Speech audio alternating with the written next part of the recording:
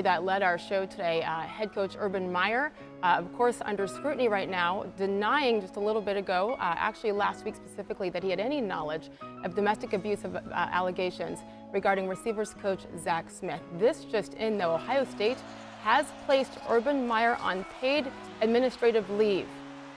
Ryan Day, right now, will be the acting head coach during the investigation. Ryan Day, currently the co-offensive coordinator and quarterbacks coach for the Ohio State Buckeyes. The difference there is when he goes from saying, I know nothing, to all of a sudden um, being placed on administrative leave. Does that tell you that Ohio State is, quote unquote, believing oh. what the ex-wife uh, is saying? Because it seems like it's an awfully quick jump to, to put him on the sidelines right now. Well, this is this is my judgment of the situation, Sage, and I don't have any inside information that would make this absolute fact. But my immediate reaction when I hear he's been placed on administrative leave is that they're negotiating the details of separation. I mean, that's what you think, isn't it? I mean, they, you know, Urban in his statement I read a few moments ago said he looked forward to the resolution of this matter.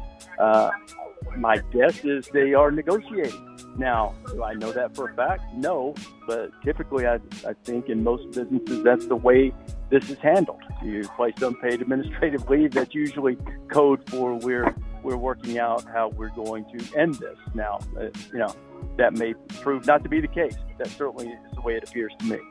I don't know that there's a bigger name in college football than Urban Meyer. He's one of the one of the highest compensated coaches in college football. Trevor, he's been placed on paid administrative leave, and your reaction to that news is what? Kevin, this is an existential threat to Urban Meyer's career, his reputation, and his legacy. And the fact that he's been put on paid administrative leave, even though that probably is good for the players as they start camp, creates the perception that there is something there. Now, there's a lot still to unpack. There are a lot of facts we still need to know. We still haven't heard his side of the story as of today. But right now, it looks really bad for Urban Meyer. We're seeing some of it unfold right here, Trevor. What is Ohio State University's responsibility based on the facts they have right now?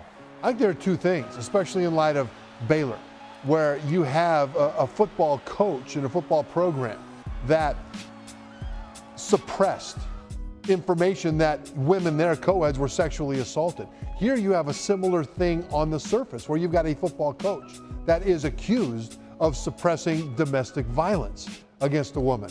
From the standpoint of the university, they do not want to be painted with that brush. At the same time, there are legal issues as well. Is Title IX a factor here? And it may very well be a factor. Now we're getting into legal ramifications. So right now, the, the exposure of Urban Meyer is pretty strong if the accusations are true. What is your first reaction upon hearing this news today? Well, I, am literally uh, stunned, Sage, to be honest with you. I, I along with David Pollack and, and several others, have, here at ESPN just landed here in Atlanta coming from Bristol. And I mean, not surprised to see Ohio State move swiftly in a situation that is this serious. Uh, I think it was the correct move by Ohio State. I think it was the correct move to name Ryan Day the interim as compared to, say, a Kevin Wilson, who's the offensive coordinator, or Greg Schiano, who's the defensive coordinator. This makes sense to me that they would go in this direction. But for them to move as swiftly as they did proves that they have information that clearly incriminates Urban Meyer much deeper than we might have originally thought. It's obviously a very scary story, but knowing the turbulence of today's events, uh, I'm not surprised to see Ohio State distance themselves quickly. How does the university undertake an investigation like this? Well, Kevin, there's a lot of questions that need to be answered, and there's a lot of people that need to be talked to. You know, the report earlier today, you know, mentioned all these text messages from coaches' wives who are still on the staff. So Ohio State has to talk to all those people to find out what they knew, and maybe more importantly, when they knew it and what they did about it. You know, Urban Meyer, when did he know about these allegations? Did he know about the allegations in 2015, which he so forcefully denied last week at Big Ten Media Day? And then what was the response after people did know?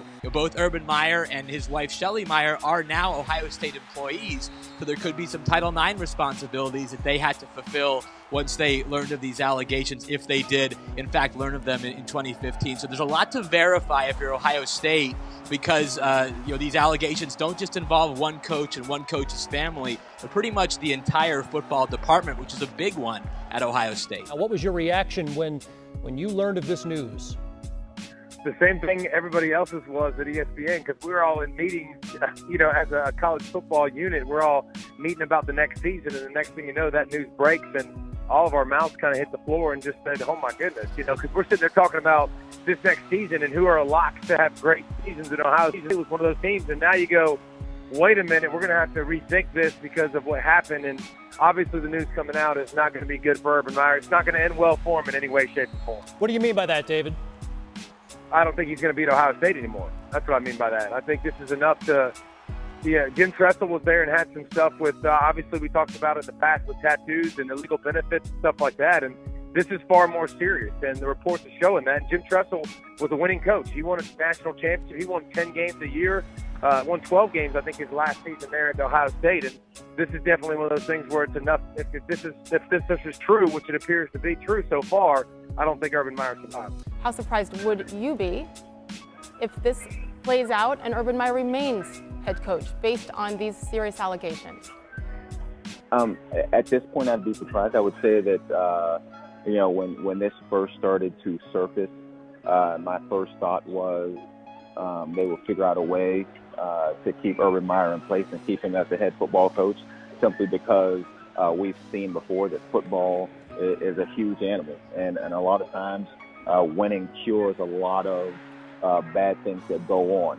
Uh, this one uh, seems to be getting too big to, secure at this point. So I'd be extremely surprised if uh, if he survives this.